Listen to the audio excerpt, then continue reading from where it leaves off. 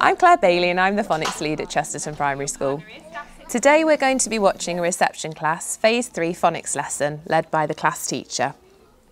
Some of the children in the group you are going to watch attended nursery here at Chesterton, but some children were new to the setting in September. We did a baseline of all children to make sure they were grouped according to their phonic knowledge and skill set. Okay, so now we're going to do our speed sounds. Are you ready? Let's go. The first part of the lesson is revisit and review. The aim of this part of the lesson is speedy recognition of previously taught GPCs, as well as speedy recognition of common exception errors, which we call tricky words. We use flashcards at this point in the lesson, as it allows the adult to respond promptly to errors and misconceptions. Here we are looking for correct articulation and fluency. In other words, the children are not relying on their blending skills.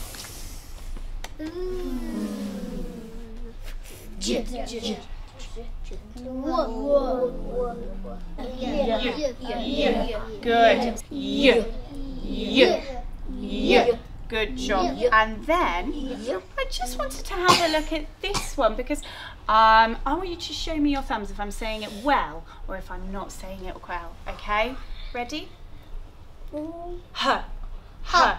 Huh. Huh. Huh. Whoa, dear, what happened? What do I need to do better? How can I change it? Yes, Alexa. Oh, good. It's a breathy sound. Should we try it one more time?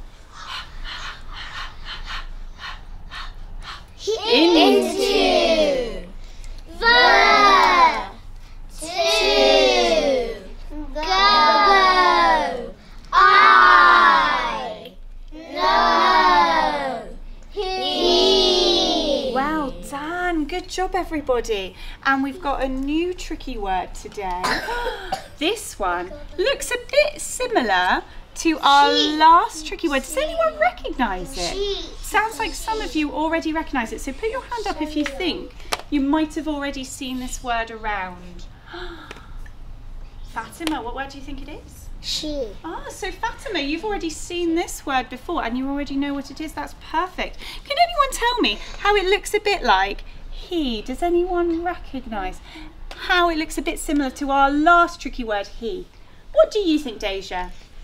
How does I just knew um, she um, before that she came. I knew it before, but it's a bit similar because there's a H with that one. Yes, so it's got an H and an E. So it's an H and an E, but she also has an S.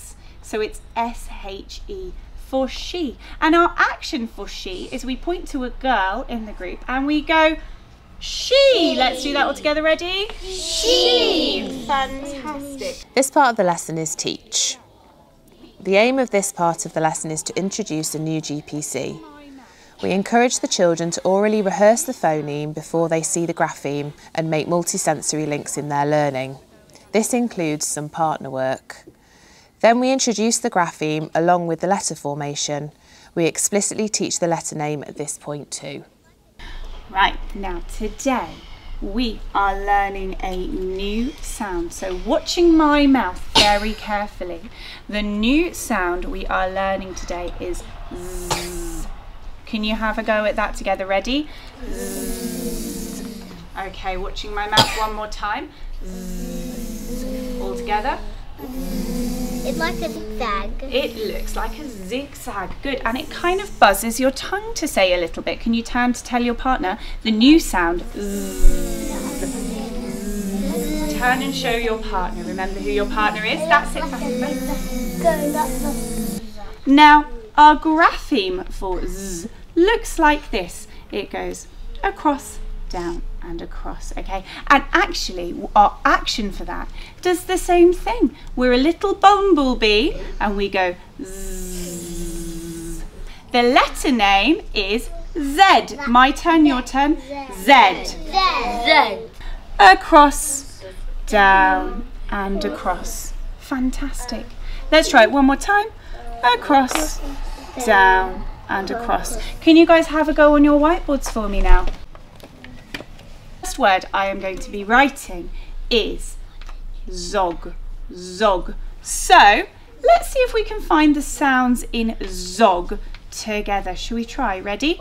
Z, o, g, zog. Good. So there are three sounds. We've got our first sound, which is z. What's the next sound that I'm going to need? Oh, oh, oh. And then what's the last sound in zog? G. And you need to have zog on your boards too, as neatly as you can, please. And if you've got a spare z, just rub it out so we don't get confused, okay? Lots of times, which might get confusing. So rub out all the spares. We just need. The next part of the lesson is practice. The aim of this part of the lesson is for children to use the new GPC at word level. Today you will see our class teacher playing Sound Swap. This kind of activity involves isolating and manipulating phonemes to create new words, which is an important skill for reading and spelling. Good. So now we're going to play that magic game where we switch out a sound. So I want to go from zog to zig. So which sound am I going to change? Am I going to change this sound? No. no. Am I going to change this sound? Yes. Am I going to change this sound? No. So I want you guys on your boards, you're going to write, uh, rub out one sound, just one sound, and change it so that you make the word zig. Zig. See if you can have a go at that. Just rub out the middle sound and change it so that you make the word zig. Good job. Fantastic. Really good. Pop your boards down, everybody. Who's going to come and help me? Someone's sitting beautifully. Who's going to help me change Zog to Zig on the board?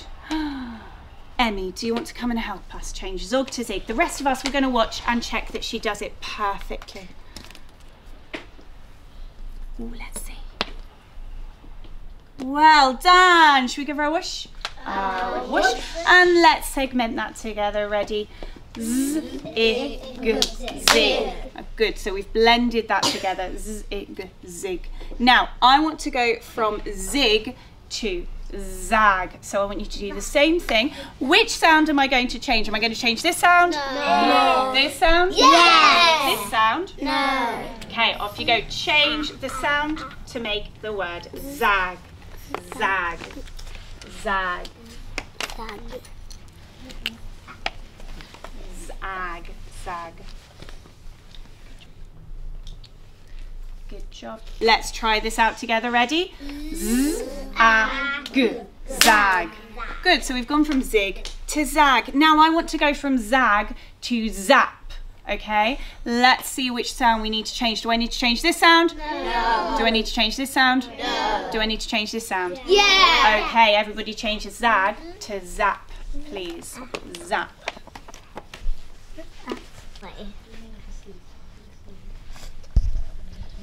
Superstar, well done. So, we've got zap. Should we try that? Ready? Z, a, zap. The next part of the lesson is apply. The aim of this part of the lesson is for children to use the new GPC at caption or sentence level and apply their reading to a text. So now it's our turn to have a little try at some reading together. So our first pointing partner is going to point to each word and our first reading partner is going to read each word. We're going to read page three, so this number here, three, and page four. Zog ran to get a wig. It is a fun wig. We also touch on prosody here. The children listen and evaluate different voices to identify reading with expression.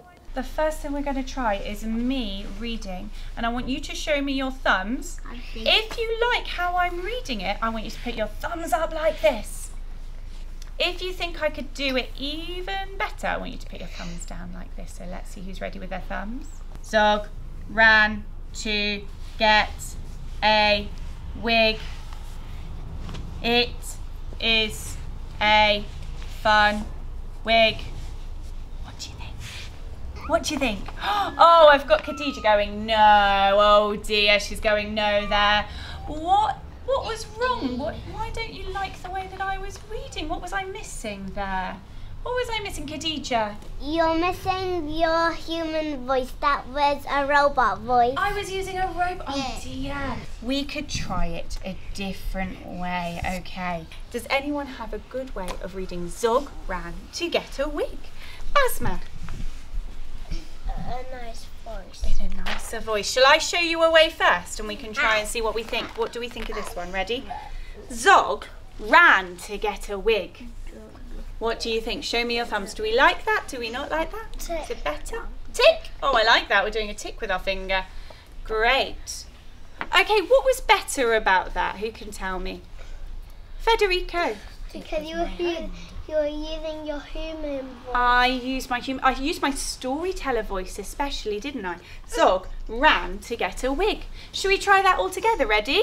The following phonics lesson will use the same text to develop comprehension. Finally, we finish our lesson with a plenary to review and highlight the learning that has taken place.